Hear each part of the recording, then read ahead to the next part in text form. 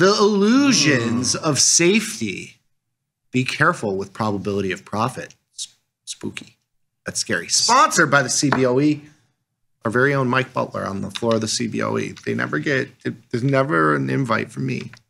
You'll get an invite soon. All right. Thank you, Will. Yeah. Uh, no, it was really fun. Fucking Super hear fun. the stale air in here. in this box. Anything else? No, that's Uh, all right. Illusions of safety. yeah. Market measure sponsored by the CBOE. Beautiful. Mm-hmm. Love the CBOE. Uh, yeah, probability profit. What's what's the deal with probability profit here? Uh, it is a crucial metric that traders often prioritize as it directly ref- reflects the probability of achieving positive results. So, the definition of probability of profit is making one penny at expiration. The probability of making at least one penny at expiration. Uh, so, your probability of profit, of course, with short premium trades that are out of the money, are going to be high. The further out of the money you go, the higher your probability of profit is going to be. Yes. However, return on capital may be even more important as it directly reflects potential profits and losses, especially when considering management and portfolio volatility. So, with defined risk trades, it's very clear cut. It is, uh, you know, what's your what's your credit received for a put credit spread, for example? What's your credit received versus what's your max loss? It's a defined metric. With an undefined risk trade like a short put or a strangle or whatever, your return on capital, we like to look at it as return on capital based on buying power requirement. So if I have to put up $2,000 to hold this trade and I have a $200 credit, that's a 10% potential return on capital based on buying power requirement. Yeah. Unfortunately, it's not possible to get high values for both metrics simultaneously due to their invor- inverse correlation. Uh, High pop, low credit. yeah, You know, that Yeah. makes total sense. Low, Yeah. you know, low risk, low reward. yeah. That's I think you can. I think you can bend this last point a little bit if you're selling premium in high implied volatility products, because that will naturally give you a higher return on capital because you're collecting more premium relative to the buying power required for that trade. Defined risk, it's a little. It's more. It's more similar. yeah. uh, I would say, between low IV and high IV. But when it comes to undefined risk trades, the higher IV the product is, if you're if you have normal buying power requirements, you're going to be able to juice that return on capital up a little bit. Mm-hmm. Well said. Next slide here. So the most straightforward way to boost pop is to use further out of the money options with smaller deltas. However, this is all this also means sacrificing potential return on capital. So finding a balance between these two factors is crucial. So this is out of the money puts uh, based on SPY at 672. You can see the max return on capital obviously gets lower as you get further out of the money. I know we like just as kind of a rough mark are looking for somewhere between 10 and 20 percent of the capital we're being we're using on a naked position to make it worth the risk. And when you factor in kind of this is just the raw return on capital if you were to get 100% of the max profit. When you're managing at 50%, you want to make sure that it's worth the time. And I'm looking to get somewhere between 5 and 10% return on capital managing at 50%. Like that's my that's my metric. If you're a little bit risk averse, maybe you're looking for less of that, but it's important to understand just the the probability of profit is something that's very dynamic and that's kind of what this segment's going to get into here. Um, any thoughts on this one, Mike?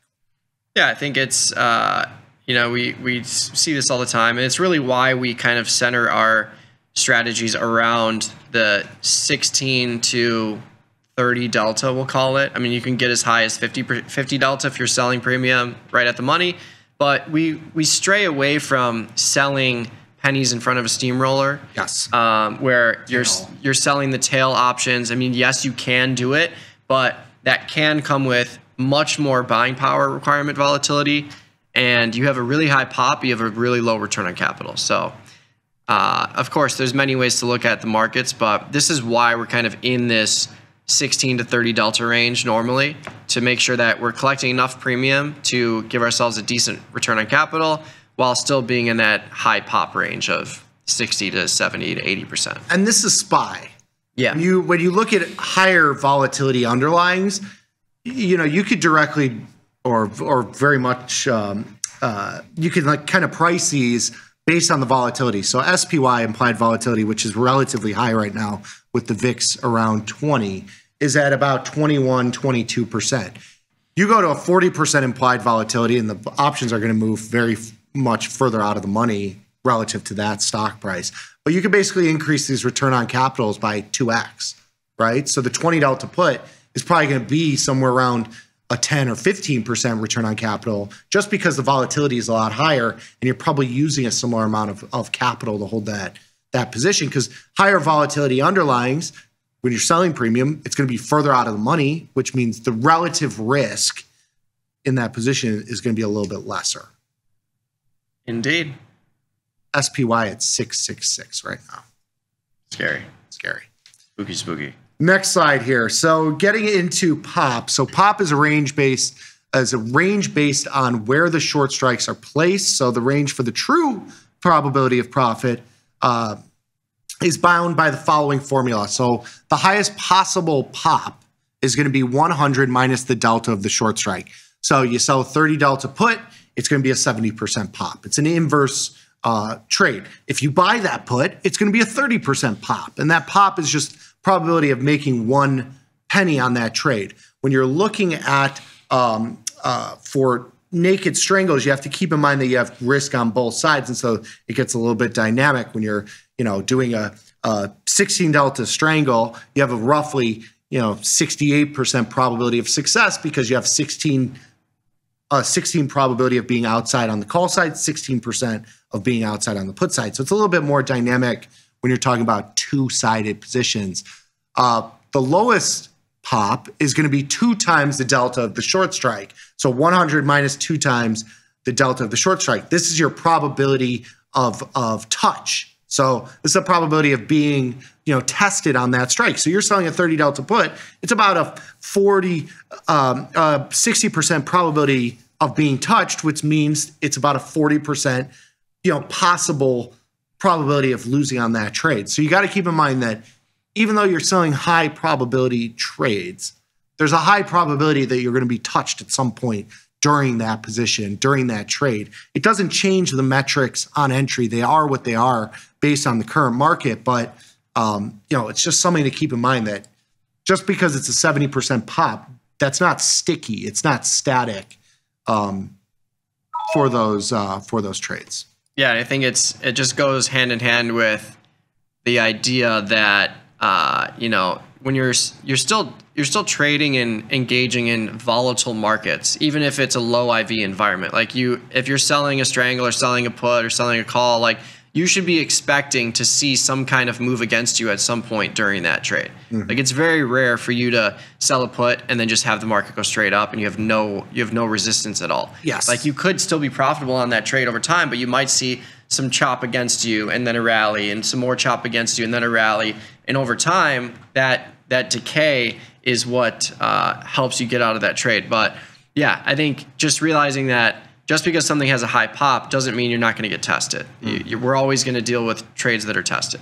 Yes. Next one, please.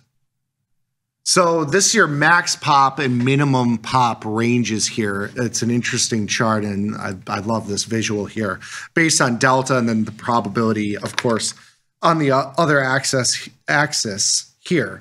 So because higher deltas often comes with more volatility, iron condors that have a 30 or 40 delta short strike have a very wide range of true pop values. Uh, depending on where you place the short strike. So iron condors with a 10 or 20 delta short strike have a narrow pop range. And so you when you're further out of the money, the probabilities become more uh, uh more uh, they have less variance to them and that makes perfect sense because you're selling tail options. So a lot of you know a lot of the probabilities are going to play out when you're getting closer at the money. Your probabilities are going to be le- less sticky to what they are.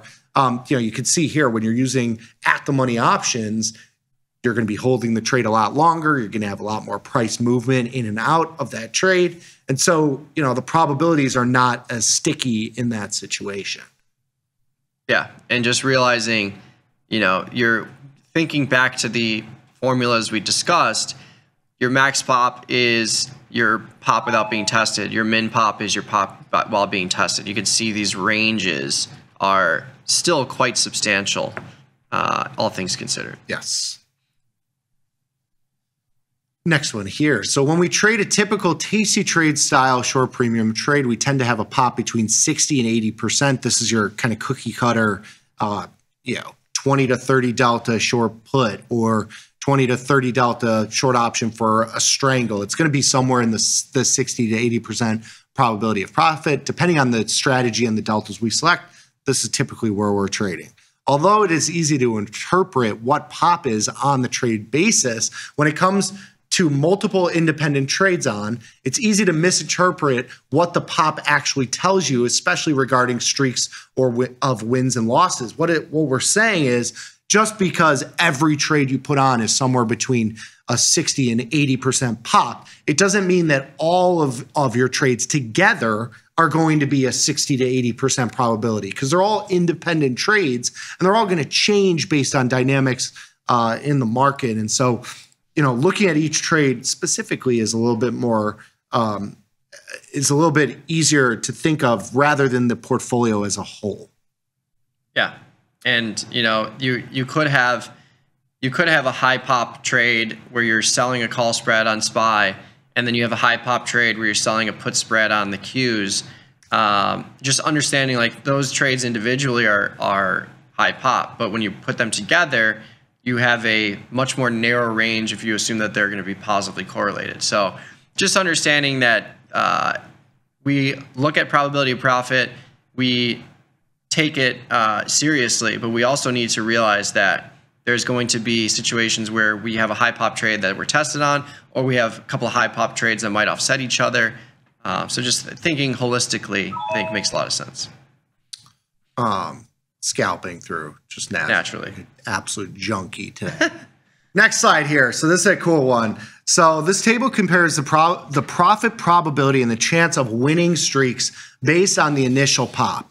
So even with a high pop of somewhere between 70 and 90%, a slight drop in pop sharply reduces the odds of three or four wins in a row. And so when you're you, the way you can look at this is like if you put on a 90% pop trade and that pop goes to 70%, meaning you're getting tested on that trade, the probability of those trades, all of those 90% trades, if you're doing multiple of these, being profitable dr- drastically decreases. Like you go to a, you know, a four trade win streak of 24% on a 70% pop, you would think if you're, you would think they're all independent that they're all going to be 70% shots. But when you put them all together, the probability of the streak decreases. And it tells you that through a lot of trades and occurrences, you should expect to have positions go against you.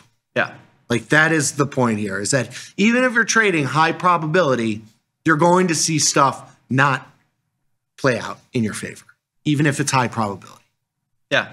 It's the same as like flipping a coin. Like you know it's 50-50 in the long run, but I could flip 10 heads 10 times pretty easily. Yeah. And yeah. that's not that's that's not out of the realm of of probabilities on a longer data set. Yep. Love it. This is a really good one. I like this one. And and you got to keep in mind pop is the probability of making a penny yes. or losing a penny. Right. So this isn't max loss. This isn't tail risk. This is just the win or loss based on just a binary penny amount. Um, that's why a lot of you know a lot of people look at like the max risk and they're like, if I'm losing the max risk every single time and only making 50% of the credit, you know, this doesn't work. It's not a, it's, it, you can't zero sum it because pop is, is very variable and the, the wins and losses are variable as well. The losses specifically and the probability of of realizing X amount of a loss is very, very variable. Mm-hmm.